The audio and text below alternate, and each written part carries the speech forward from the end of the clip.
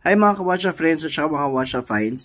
Um, ulitin ko tong video na to kasi sabi nung isang kaibigan ko, gusto niya tumingin about uh, tumingin at matuto about tortoise shell. Kaso nga daw, yung video ko na pinos, medyo luma na at saka medyo blurry na daw ang video. So sabi ko, ulitin ko na lang. Kasi total, anyway, nakuha ko na bago na tortoise shell which is ito. And hindi ko na magagamit itong UV light ko kasi for some reason, hindi ko siya mabuksan at talaga masikip at low bat na siya. Hindi ko alam kung paano ito bubuksan. Pinipilit kong buksan pero hindi eh. So, uh, hindi ko ito magagamit pero sa dulo nito, ililink ko naman yung video kung paano malalaman na tortoise shell siya. Medyo malabo nga lang yon. So anyway, ito yung mga nakuha ko over these years. Ito yung mga tortoise shell na nakikita natin. Ayan. Ayan siya. Mga brush ito. Ayan. At ito naman, meron siyang amber sa gitna. Ayan. Paano mo malalaman na tortoise shell? Pag tinutok-tok mo, ayan o, oh, hindi siya katulad ng tunog ng plastic. Kahit yung mga kwintas niya, oh. Iba ang tunog ng plastic eh. Ayan. Now, ito yung usong-uso din dati at mahal, ma mahal na mahal ito. Ito yung mga uh, tortoise shell na eyeglass frames. Ayan. Ayan. Ito. Ito naman yung mga type ng tortoise shell na mahirap hanapin. Itong ito, itong ito.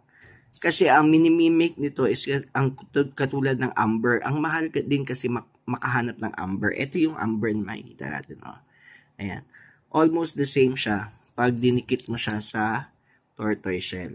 Mer meron siya yung typical amber na yellowish na hue. Pero ito, amber ito, ito naman tortoise shell. Meron akong mga raw na amber uh, nakatago lang din pero sa ibang video ko na lang isasama. Pero ito yung typical na mga necklaces na nakikita natin na gawa sa tortoise shell. Ayan.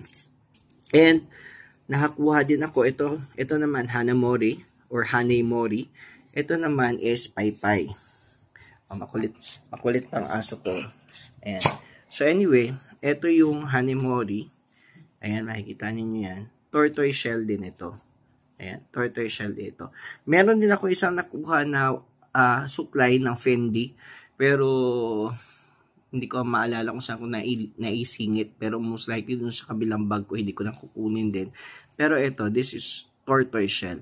Mahal dito pag binibenta online. Marami kayo makikita, um, iba inaabot ng 20,000, 30,000 for this alone kasi it's tortoise shell and it's uh, bawal na rin kasi magbenta pre-ban ng 90s, especially sa abroad. Kasi uh, kailangan mo talaga na i-prove na uh, pre-ban mo siya na, na, na nakuha. Hindi mo siya nakuha ng bago lang. Kasi binabawal na talaga magbenta ng tortoise shell.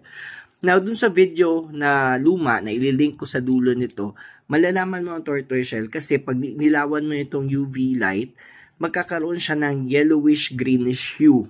Green to almost blue na hue. Parang mag, mag, mag-fluoresce siya ng green na color, mag-iiba yung kulay niya. At especially itong mga yellow parts.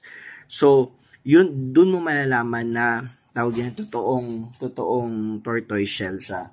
So, yun lang muna, makakwento ko, medyo maikli lang ito. Wala ako masyadong makikwento na iba pang things na malalaman niyo tungkol sa tortoise shell. Other than that, yun lang talaga ang um, pinakamadaling way na malaman mo na tortoise shell is aside sa tunog niya, ayan, ayan, oh, parang shell na manipis, at uh, hindi naman siya mabigat, magaan naman siya, pero through UV ray, ito, makakabili kayo nito sa Shopee, mura lang ito, more or less, parang ito, parang 100 something lang ito. Tapos, pag inilawan mo, makikita mo meron siyang mag-fluoresce siya, hindi na siya yellow at brown, magiging parang dark greenish blue to almost light super light na light green, especially itong mga yellow parts. So, tingnan nyo na lang yung link sa dulo, makikita nyo doon kung ano yung mga detalye pa na iba. Medyo malabo na talaga yun kasi luma pa yun, ang gamit ko pa nun yung luma kong cellphone. So, medyo uh, yung quality niya medyo, medyo madilim talaga. So,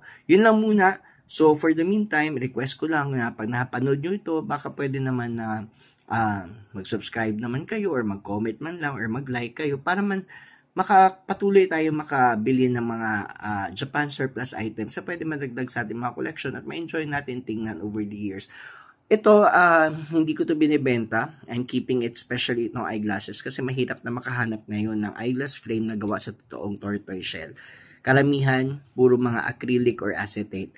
And ito, talagang literal na uh, tortoise shell ito. And so, handcrafted at talagang makikita mo dahil sa sen, uh, madaling mas mabiak ang tortoise shell eh makikita nyo sa loob meron siyang bakal. Talagang uh, made to last siya for a lifetime. Tinusukan niya ng bakal sa loob. So, yun lang muna.